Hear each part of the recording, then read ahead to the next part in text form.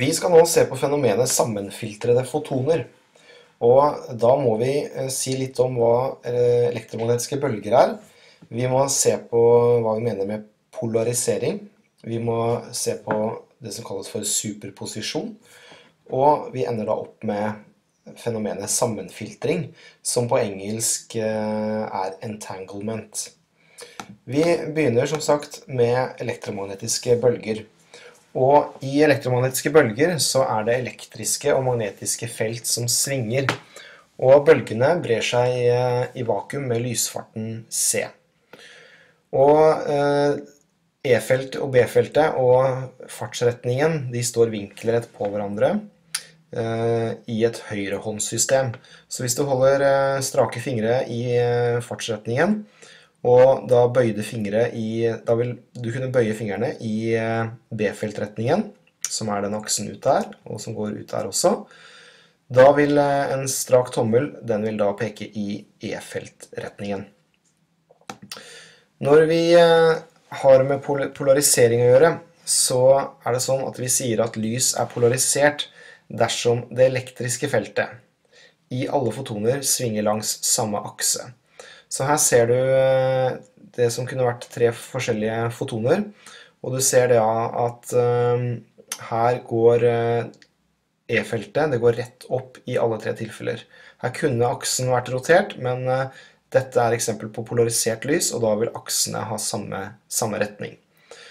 Og det er jo ikke sånn at lys vanligvis er polarisert. De fleste lyskilder, som f.eks. en lommelykt, de sender ut upolarisert lys.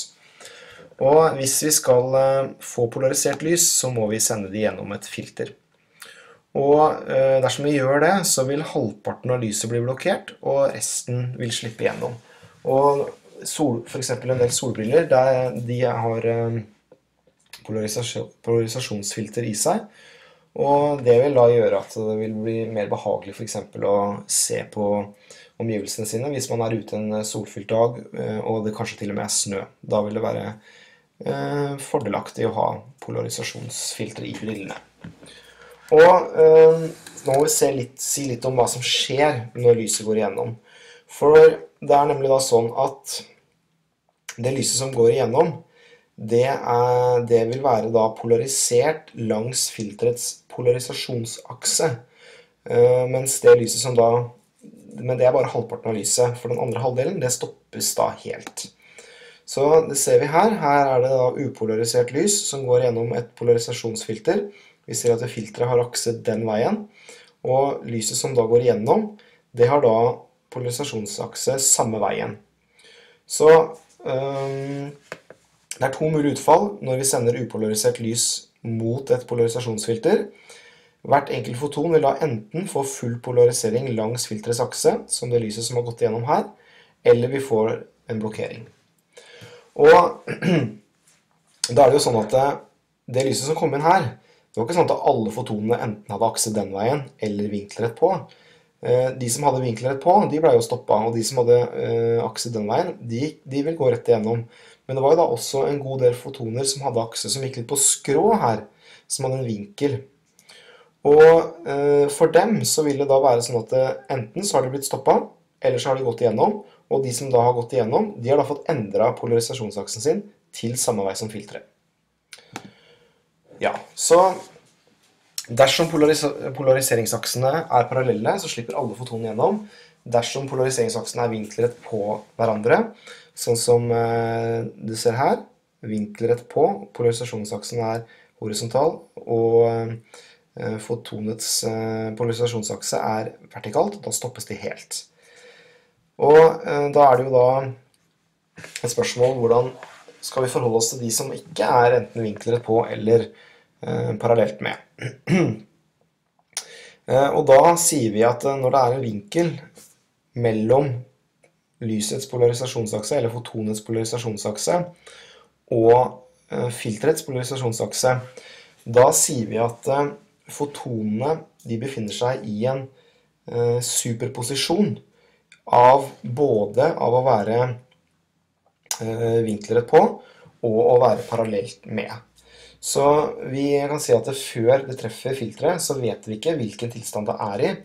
Men når det går igjennom filteret, så vil det da eh, falle inn i enten da å være, være parallelt med og gå rett igjennom, eller eh, den andre mulige tilstanden, å være vertikalt på og bli blokkert.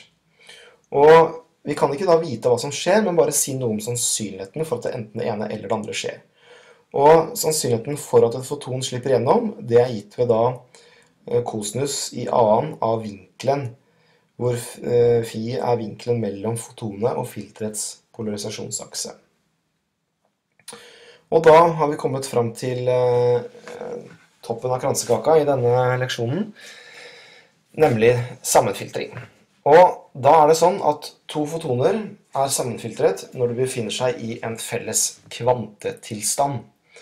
Og det betyr at de, selv om de da f.eks. sendes ut fra dette punktet her, i hver sin retning.